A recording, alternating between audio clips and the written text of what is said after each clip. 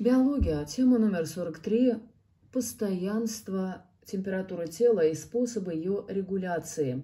Регуляция температуры тела. Регуляция температуры тела исключительно важна в условиях покоя и разнообразной деятельности человека. Вы уже знаете, что в результате непрерывного распада веществ в организме освобождается тепловая энергия. Ее количество зависит от интенсивности обмена веществ.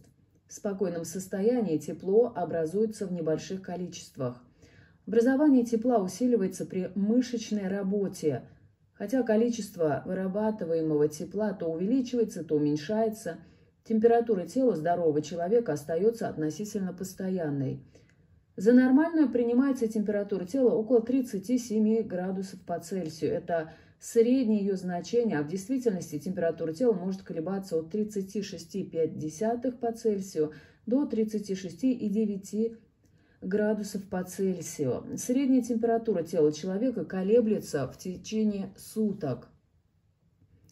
Днем она немного выше, чем ночью. Колебания температуры связаны с изменением уровня обмена веществ. Различные инфекционные заболевания вызывают повышение температуры, лихорадку – Человек может переносить лишь незначительные колебания температуры тела. Ее повышение выше 43 градусов по Цельсию, падение ниже 25 градусов по Цельсию, как правило, смертельное. Сохранение постоянной температуры тела возможно только при условии, что количество производимого в организме тепла равно количеству тепла, отдаваемого наружу. За сутки человек отдает около 13,5 тысяч килоджоулей тепла, из них 80% через кожу. Терморегуляцию разделяют на химическую и физическую. Химическая терморегуляция заключается в изменении уровня обмена веществ и ее главная роль – образование тепла. Повышенное образование тепла предохраняет организм от охлаждения – Наоборот, при высокой температуре окружающей среды обмен веществ в организме понижается. Это защищает организм от перегревания. Освобождение энергии происходит химическим путем за счет распада белков, жиров и углеводов. Самое значительное количество тепла образуется в организме при сокращении мышц во время физической работы. Вот почему, когда мы мерзнем, надо сделать ряд физических упражнений или побегать. Образованию тепла способствует и непроизвольное сокращение мускулатуры. Всем хорошо известная дрожь на холоде. Наконец, немалую роль играют процессы обмена веществ во внутренних органах. Образовавшееся в них тепло разносится кровью по всему телу и поступает к коже. Если от химической терморегуляции зависит в основном образование тепла в организме, то в физической терморегуляции главным является отдача тепла в окружающую среду. Согласно законам физики, тепло передается от более нагретого тела к менее нагретому. Перенос тепла происходит благодаря теплопроводности теплоизлучению. Передача тепла путем теплопроводности осуществляется между физическими телами, находящимися в непосредственном соприкосновении друг с другом – Этим способом человек может отдать часть тепла только в том случае, если температура предметов, которых он касается, ниже температуры поверхности его тела. Охлаждение путем излучения тепла может происходить и в том случае, если температура воздуха выше температуры тела.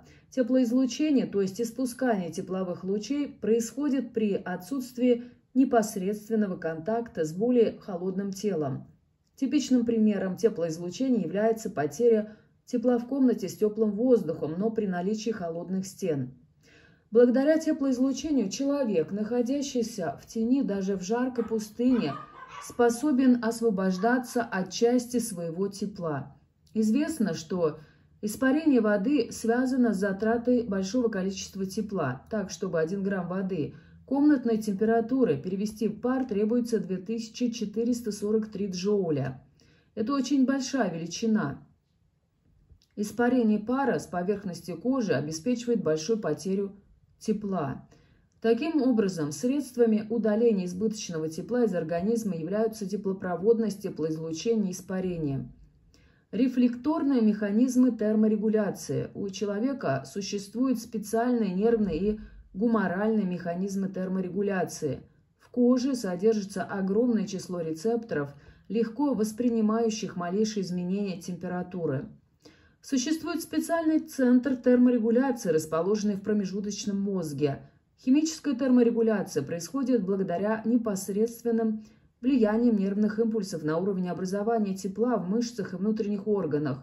Параллельно с этим происходит и перераспределение крови, основного переносчика тепла в организме, путем расширения или сужения сосудов кожи, увеличения или уменьшения отделения пота. Регуляция постоянства температуры тела и обмен веществ осуществляются высшим отделом центральной нервной системы, корой головного мозга. Наблюдения на людях показали, что изменения теплоотдачи могут возникать по сигналам из внешней среды при некоторых психических состояниях. Перегревание. Перегревание организма возникает под влиянием высокой температуры окружающей среды, а также при затруднении отдачи образующегося в организме тепла. Перегревание может возникнуть на производствах с высокой температурой, горячие цеха, в районах с жарким климатом, под лучами палящего солнца, при длительном пребывании в душном помещении – Перегреванию способствует и образование тепла при мышечной работе, особенно в непроницаемой или плохо проницаемой для водяных паров одежде из синтетических тканей, которая сильно затрудняет испарение пота. Такие условия вызывают у человека тепловой удар или, если человек находится на солнце, солнечный удар. При перегревании наблюдается мучительная головная боль, головокружение, общая слабость, побледнение, замедленность движений, возможно тошнота, рвота, судороги, кратковременная потеря сознания, повышение температуры тела до 40-41 градуса по Цельсию. Если у человека появились признаки перегревания, надо немедленно вызвать скорую помощь. Не теряя ни минуты, необходимо уложить пострадавшего в прохладном месте, приподнять его голову, расстегнуть одежду. Для увеличения теплоотдачи на лоб положить холодный компресс и смочить одеждой одежду водой. Пострадавшего нужно напоить холодной водой. Для предупреждения перегревания на солнце голову обязательно следует прикрывать светлым, хорошо отражающим солнечные лучи головным убором. Ожоги. Ожогами называют повреждение ткани организма при действии раскаленных предметов, химических веществ, электрического тока, солнечных лучей при соприкосновении с огнем. Ожог может поражать самые разные участки тела. При этом нарушается функция кожи и создаются условия для проникновения в организм возбудителей различных инфекций. Различают три степени ожогов. Ожоги первой степени характеризуются покраснением, припуханиями кожи и болями. Они наименее опасны. Обожженный участок тела надо промыть раствором питьевой соды, наложить содовую повязку или смазать жиром. При ожогах второй степени на коже образуются пузырьки, при ожогах третьей степени происходит омертвение кожи. В обоих случаях на обожженный участок нужно наложить чистую повязку и немедленно обратиться к врачу. Пострадавшему с ожогами второй и третьей степени может помочь только врач. В случае поражения более третьей поверхности тела человек может погибнуть. Отморожение. Отморожением называют Повреждение ткани, вызванное их переохлаждением. Отморожению чаще всего подвергаются нос, пальцы рук и ног.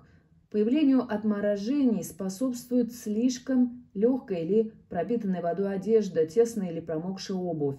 При отморожении первой степени происходит побледнение кожи и появляется сильная боль. В этом случае лучше всего растереть пострадавшее место до покраснения и смазать его жиром. Вторая степень отморожения сопровождается припухлостью кожи, образованием темно-красных пятен и потерей чувствительности. При отморожении второй и третьей степени начинается омертвение отмороженной ткани. В этом случае нужно прикрыть поврежденный участок повязкой, обратиться за врачебной помощью. Отморожение возникает тем быстрее, протекает тем тяжелее, чем ниже температура воздуха, выше влажность охлажденного участка тела и продолжительное охлаждение.